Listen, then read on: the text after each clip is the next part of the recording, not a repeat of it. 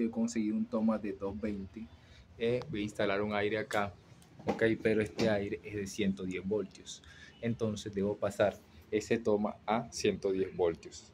Me toca ir al tablero y revisar. Sacado la tapa del tablero y ahora voy a ver acá eh, la circuitería, ok. Y aquí tenemos eh, las dos líneas, ok. Tenemos una barra de neutro y tenemos una barra de tierra.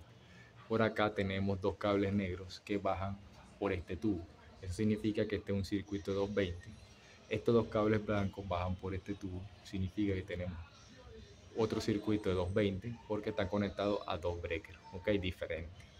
Y aquí podemos ver un cable negro solamente que baja y tiene está conectado con eh, va con un neutro quiere decir que es un circuito de 110 el de arriba también el y este y este también son circuitos de 110 que podemos ver acá ok donde bajan blanco negro y tierra ok y aquí arriba está otro circuito de 110 nosotros queremos eh, pasar eh, uno de 220 a, a, a 110 entonces puede ser este circuito o este.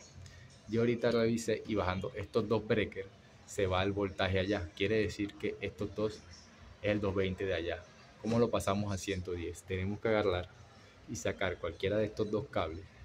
Por ejemplo, este, ok, ya tenemos el breaker abajo, ya lo voy a sacar y lo voy a conectar acá a la barra de neutro. Y de esa forma voy a tener una línea por aquí y el neutro acá que van a ir por estos dos cables negros hacia allá y ya pasaría a 110 voltios. Vamos a, vamos a la práctica. Ok, vamos a sacar este tornillo. A sacar ese cable ahí.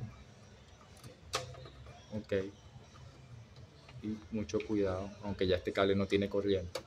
Podemos bajar por aquí. Ok, y vamos a buscar un hueco aquí en la barra de neutro.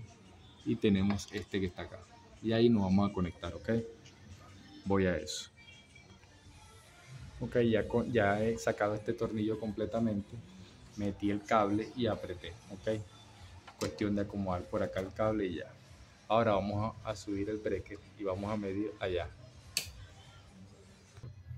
Ok, con el tester en voltios en alterna, eh, meto las dos puntas en el toma. Ok, y ya tengo 127 voltios. Ok, entonces ya pasamos este toma a 120 voltios toca borrar esto acá y ya podemos enchufar sin ningún problema.